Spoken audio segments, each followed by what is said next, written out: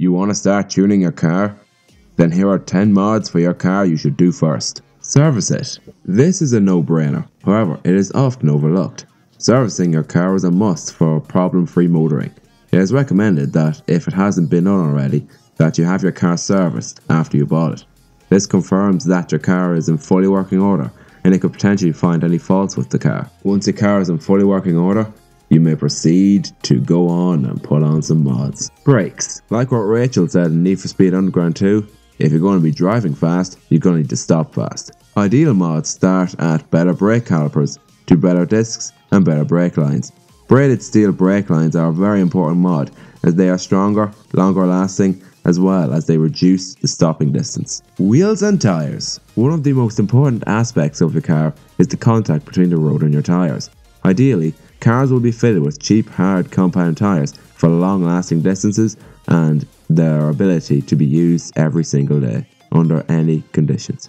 However, if you are a motor racing fan, then you will know that hard tyres equal slower times and less grip. So it is recommended that you go a little deeper into your pockets and buy yourself some softer, grippier tyres, which give a better driving experience and better handling.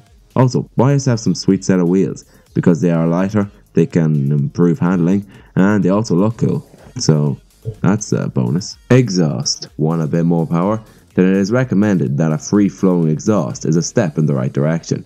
It allows for more airflow, meaning that more fuel and air is released faster, meaning that your car can breathe better.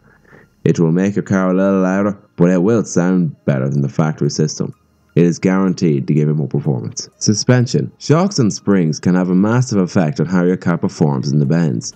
By punching your bike count in the nuts, you can invest in a sweet coilover kit, which changes how your car performs at almost every angle.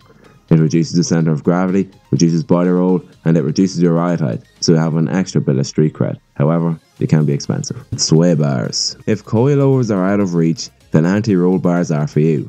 These bars reduce body roll to allow for more grip, better cornering, and better balance as your car doesn't roll about like it's had too many pints of Guinness. Steering wheel and seats. More of an ergonomic upgrade. A better wheel and improved seats can change how you feel behind the wheel. A smaller, more sporty wheel would be ideal, as well as a pair of bucket seats for ultimate security in the event of spiritual driving or in the rare unfortunate case of an accident. Weight reduction. If you're really on a tight budget, then there is only one way you can make your car faster weight reduction. This is the removal of all useless junk that is irrelevant in your car so that your car can be a little faster. Carpets, rear seats, sound deadening, passenger seats, interior trim, dashboard pieces, and anything unwanted can be gone. Your car will be like hell inside, but who cares? Air intake. Now you crave for more power. A simple bolt on air intake might not make a difference in power, in some cases, in particularly turbo cars, it could actually make a car slower. However, in most cases, acceleration and all-round performance and even fuel economy are improved as more air is going into the engine when less fuel is needed to power the car, so it's a win-win. Just it would be ideal if you went around car forums to see which one is best suited for your car. You, one of the most important parts of the car, the driver.